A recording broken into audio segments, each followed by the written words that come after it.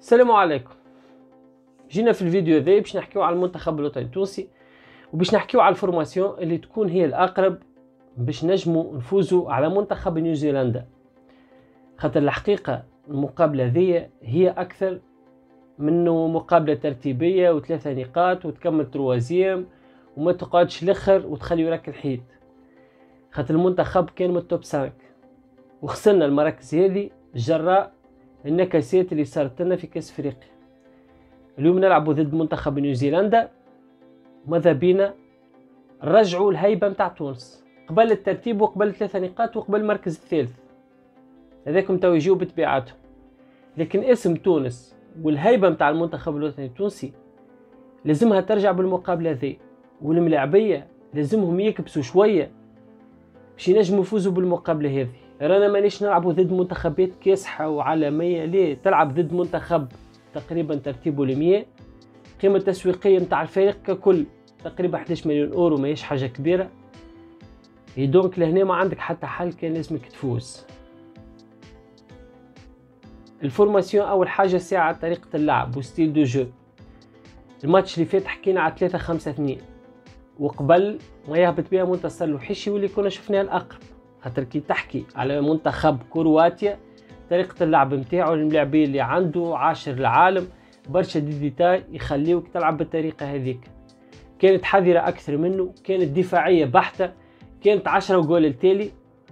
هذاك الواقع اللي كان موجود في المقابلة اللي فاتت لكن المرة دي لازمنا نغيره أول حاجة ال schéma tactique لازم يتبدل من ثلاثة ثلاثة أربعة. أربعة ديفونسيرات ثلاثة في وسط الميدان وثلاثي الهجوم. وأول حاجة باش نحكيو عليها هي البوستوات اليوم. لازم يكونوا فيها ملاعبين اللي تستحق تلعب. مش نقعدوا نحسبوا إحنا ليه الملاعب هذا على خاطر مش compétitif والملاعب هذا على خاطر أول مقابله ليه مع المنتخب التونسي والملاعب هذا مازال صغير وكحكيت هذاكم ليه؟ خاطر هذه حكيناها في المقابلة الفارطة ضد منتخب كرواتيا. اليوم لازمك تغير وشفنا الدليل. كون منتخب كرواتيا تقريبا من دقيقه 60 وبدأ يبدل في الملاعبية. ونزل تقريبا الملاعبيه الكل شاركوا في المقابلة ذيك. par contre إحنا كنا خايفين وكنا حاجتنا بالماتش وكنا نلوجوا على ال résultat خلينا نكونوا واضحين. والدليل إنه على الشونجمونات اللي عملناهم تقريبا في الربع ساعه الآخر على مستوى حراسة المرمى ما يختلفوش زوز على الاستمرارية. مي شوا لهنا باش يخليك شوية في إحراج خاطر دايما دحمين هبط وعمل مقابلة بطولية وتصدر ضربة جزاء. بشير بن سعيد عمل مقابلة أكثر من رائعة. وتقريبا تصدى زوز كور هما في الشبكة ما فيهمش كلام زاد عمل مقابلة محترمة. ونتصوروا الأقرب إنه باش يقعد. بشير بن سعيد هو الحارس الاولاني واللي باش يشارك ضد نيوزيلندا في المقابلة نتاع غدوة. بالنسبة للأربعة ديفونساريات قلنا اللي فما خمسة ملاعبين المرة ذي باش نحكيو على أربعة ملاعبين على ثلاثي محور الدفاع باش نحى منهم واحد. وما نتصورش حتى إنسان عاقل وبمخه يخم شوية باش يخلي ملاعبي كيما أسامة الحدادي يكون موجود في التشكيله الاساسيه مع كل احتراماتنا ليك يا أسامة الحدادي. مع كل احتراماتنا. بيلانتي ضيعتها راك تقعد نقطة سوداء. فما شكون يقول لك لا défenseur وما يعرفش يشوت ومن حقه وإلا ليه خويا؟ le minimum راه موجود. le minimum لازم على الأقل نشوفوا إنسان يعرف يشوت ضربه جزاء ضيعتها تحمل مسؤوليتك بالنسبة لي أنا التشكيلة اللي باش نحكي عليها ماهوش موجود فيها أسامة الحدادي جلاسي يزيد يأكد ويكونفيرمي كلام وقلت عليه الملاعبية ذي. راهو بالرسمي من أبرز الملاعبية اللي يلعبوا في البطولة التونسية ويستحق يكون موجود في التشكيله الاساسيه الحمد لله اليوم اكتشفنا défenseur آخر. خدم على روحه. بدل ال poste نتاعو يزيد يأكد لك في المقابلة الفارطة. فما برشا عباد ماشي في بالها حمزة. جلاسي يلعب من قبل في المنتخب التونسي. ويزيد نستغلوه في الكرات الثابتة ويزيد يسجل هدف لولا hors-jeu رانا شفنا معناه اللي كونه جلاس يساهم على المنتخب التونسي. donc باش نختاروا ديلان برون اللي عمل مقابلة محترمة زاده باش ما ننساوش الملاعب هذا ومعاه جلاسي بالنسبة كظهير أيسر نتصور باش يكون علي العابدي هو الأقرب. عمل مقابلة باهية يعطيه الصحة باش يزيد ي confirmer في المقابلة ذي باش تعديو للجهة اليمنى. ولهنا فما وجدي كشريدة وفما الزعلوني يا إما باش تمشي في توجه كعيط الملاعبية ماكش باش تحرمهم انه باش يكونوا موجودين في المنتخب يكونوا أساسيين. وإلا باش ت confirmer إنك اليوم قاعد تلوج على النتيجه وما على بالك بحتى ملاعبي يكون موجود في التشكيله الاساسيه donc لهنا بصراحة ما بين كشريدة وما بين الزعلوني وقايد باش نعطيو فرصة للزعلوني خلينا نجربوه. خلينا نشوفوا est-ce que هو بيدو الملاعب اللي كان موجود في البطولة التونسية وإلا لا وإلا باش نشوفوا ملاعبي مازال لازم يخدم على روحه لازم يتطور أكثر باش ينجم يوصل المستوى إنه يلعب في التشكيلة الأساسية المنتخب التونسي. donc هذم رباعي محور الدفاع. وسط الميدان ثلاثة ملاعبي باش يكون ملاعبي sentinelle اللي أكيد ما يختلفوش زوز باش يكون العيدوني ما فيهوش كلام. وباش يكون معاه ملاعبي relayeur اللي هو محمد علي بن رمضان. وتأسفت برشا لإصابة الحاج محمود. كنت نتصور الملاعب هذي باش يقدم مقابلة بطوليه ضد كرواتيا وباش يزيد ي confirmer ضد نيوزيلندا. لكن الله غالب. ملاعبي مصاب إن ربي يشفيه. donc باش يكون محمد علي بن رمضان كما قلنا وباش نختاروا ملاعبي اخر باش يعطينا أكثر نزعة هجومية. ومن نجم كان يكون حمزة رفيعه الملاعبيه الآخرين راهو ينجموا يدخلوا أثناء اللقاء. كما معتز الدين ما ننساوش نجم يقدم الإضافة. دونك ثما ثلاثة في وسط الميدان.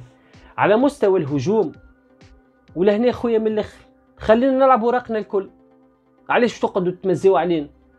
علاش نحيو هذا ونحطوا هذا ونجيبوا هذا؟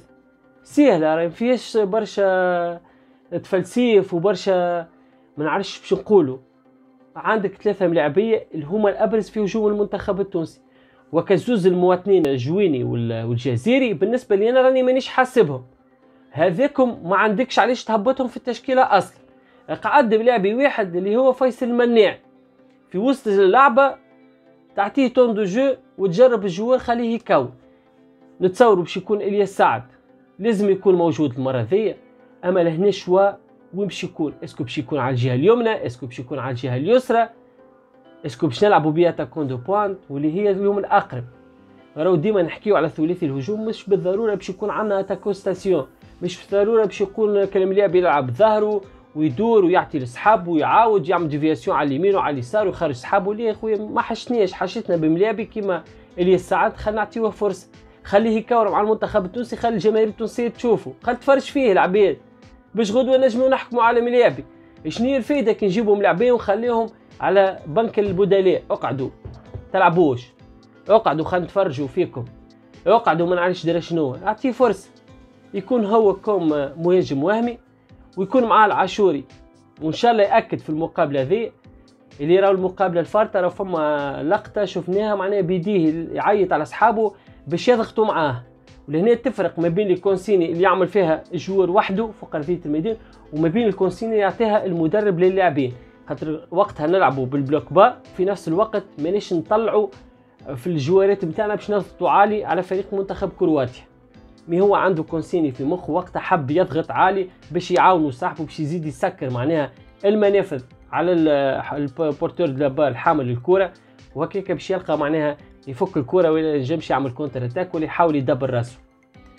بالنسبة للاعب آخر اللي باش يكون هو سيف الله بالطيف ثالث الهجوم. ثلاثة من اللاعبيه هذم بال 4 3 3 نتصوروا هي الأقرب باش نجموا نواجهوا بها منتخب نيوزيلندا اللي لازم نحطوه في الكادر نتاعو. مش باش نقولوا راه منتخب نيوزيلندا ساهل نجموا نربحوه الحكاية هذاكم mais لازم إحنا نعملوا اللي علينا وإن شاء الله الباقي على ربي ونفوزوا بالمقابلة ذي اللي باش ترجعنا لل top 5 خاطر كنا قبل بعاد خسرنا برشا في الترتيب ما فماش علاش باش ما تفوزش في المقابله ذي وفي نفس الوقت زادة تعطي temps de jeu لل joueur ات وتغير وقت يستحق نغيره. راهو نحكيو ديما على التغييرات لازمك تعطي شوية لعب للملاعبية اللي عيطت لهم الملاعبية عيطت لهم باش يقعدوا ديكور نتصور الحاجة ذي ما تجيش. معتز الدام عندك فيصل المناعي حمزة المثلوثي بالله لا تهبطوا. جويني وجزيري هذاكم لا مواطنين؟ الحديدي كيف كيف لا نادي الغاندي تنجم تستعملوا في وسط الميدان. donc هذه الملاعبيه اللي نشوفوها تنجم تعاون المنتخب التونسي في ماتش نيوزيلندا. merci beaucoup على المشاهدة يعطيكم الصحة.